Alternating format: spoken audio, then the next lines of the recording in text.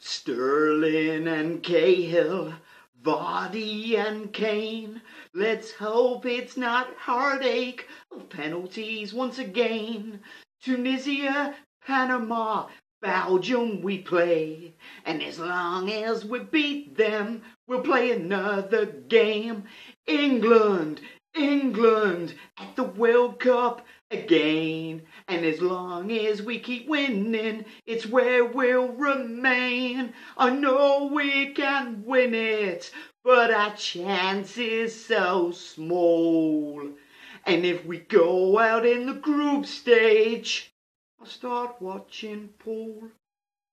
This goes out to all the white plastic chairs.